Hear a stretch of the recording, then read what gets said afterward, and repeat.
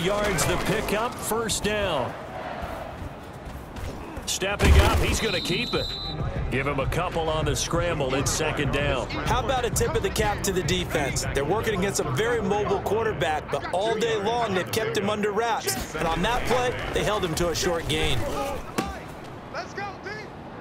Now a throw here on second down, and that's complete.